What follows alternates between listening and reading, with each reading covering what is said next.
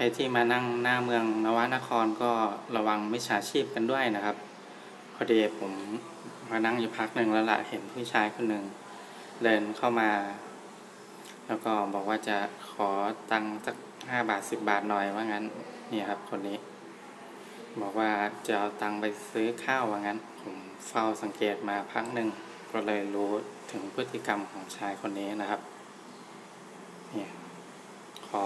คนนี้ไม่ได้ก็ไปขอรายต่อไปเรื่อยๆนะครับ แต่จริงๆเขามีตังค์มากนะครับ ในกระเป๋า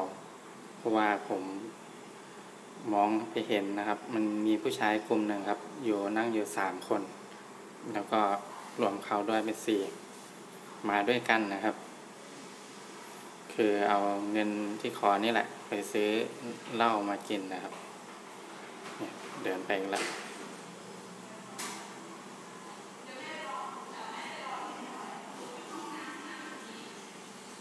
หาเหยื่อรายต่อไปเรื่อยๆนะครับ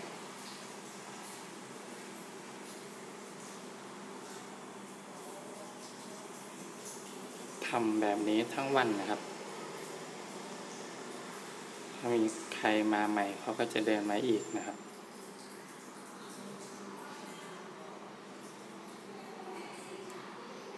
นี่นี่ผมแอบถ่ายอยู่นะครับ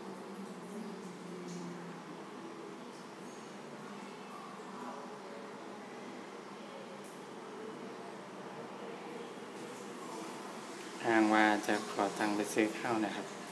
นอนตรงที่สามคนที่นั่งอยู่ทางฝั่งซ้ายมือที่วงกลมเมื่อกี้นะครับ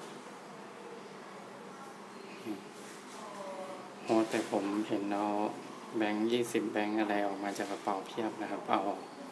มาแจกจ่ายกัน เนี่ยเดินไปหากันแล้วครับ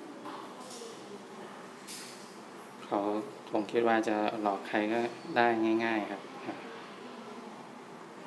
เนี่ยครับต้องระมัดระวังกันด้วยนะครับมีสาชีพเยอะนะครับ ต้องคอยสอดส่องดูแลกันด้วยนะครับ